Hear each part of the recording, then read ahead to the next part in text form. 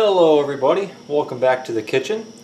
Uh, a couple days ago I made a video on pie crust and strawberry rhubarb pie and I mentioned that you will usually have a little bit of leftover crust when you're done trimming the excess off the crust when you're pinching the top and bottom half together.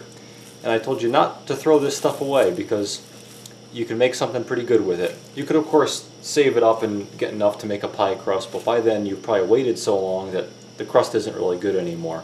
So here's a nice, quick, easy thing to do with it. Now I got this little idea, or recipe if you want to call it that, from Shop Dog Sam. Make sure to check out his channel if, if you don't know about it. He's a, a fellow engine guy and a cooking guy. He has some pretty good cooking videos. And this is one of the things that I've that I picked up from him. I believe he calls them friendship pies. So anyway, lay out your ball of dough and roll it out. Remember, once you roll it out a little bit, peel the saran wrap off of it, both the top and the bottom piece.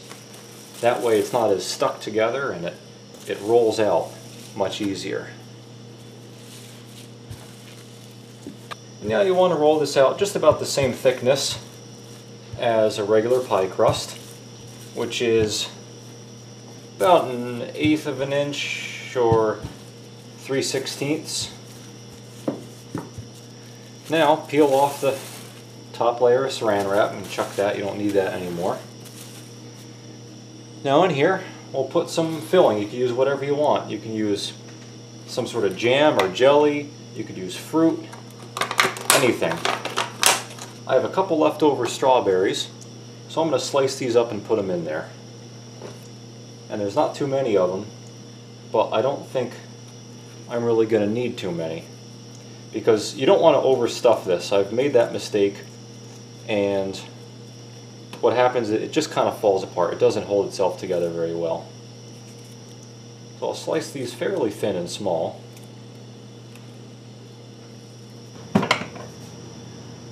Okay, so I got all that cut up and I'm just going to prepare this just as I would a regular pie filling. This is just a little bit of sugar.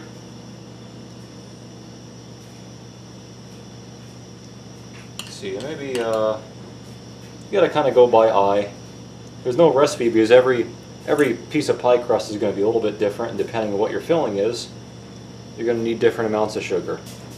But that was about two teaspoons of sugar. I think that's just about right. Now I just want to orient this just right, kind of pack all the fruit together. Leave a leave an edge there.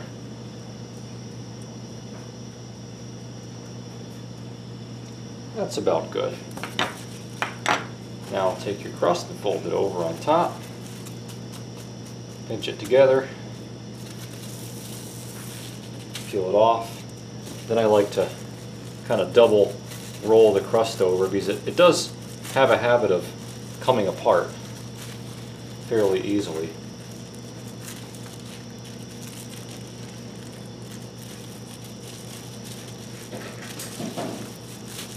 Now the best thing I think to cook this in is a cast iron pan. I love cast iron.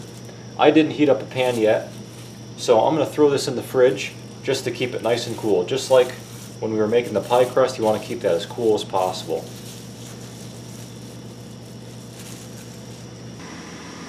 Okay, so I have a, uh, I think this is an 8 inch cast iron pan heating up. It's nice and warm. I'm going to put a pat of butter in there.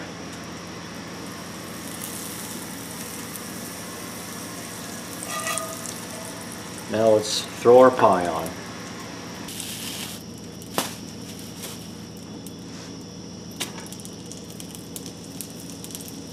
There we go. Now the key to this is low and slow. I heated the pan up on a high heat just to get it hot quickly, but I have the heat down, I might even turn it down more. Maybe that's like, that's like a medium, medium low.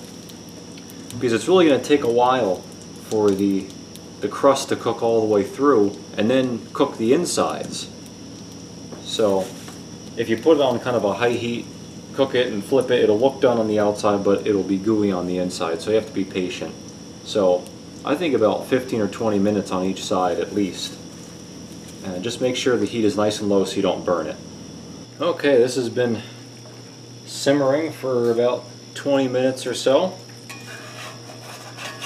The underside seems nice and firm and cooked. Just carefully get that in your spatula. I'm going to try to tilt the pan around.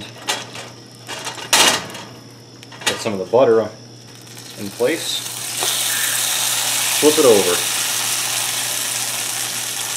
You can see that's nicely browned. It's going to be nice and crispy and flaky, but it's not burnt. So I'll set the timer for another about 20 minutes or so.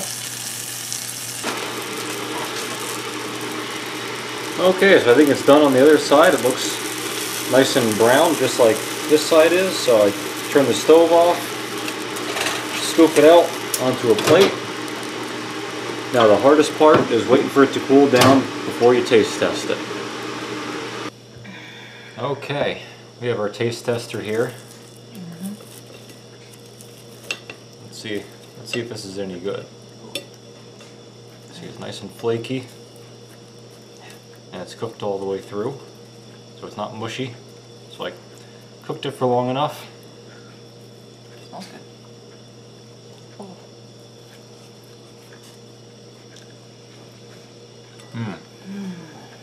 mm. That's very good. Oh. Wow. oh nice and buttery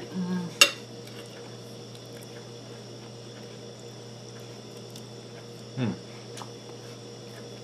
I like how where the sugar leaked out and burnt on the pan turned kind of like crispy and caramel like. Like the apple pancake. Mm-hmm. Yeah. I like that the strawberries are a little tart. Mm-hmm. Well, I guess you can see why it's called a friendship pie. It takes two people to eat it. Hey, hey, hey, you're not supposed to fight over it. My slice.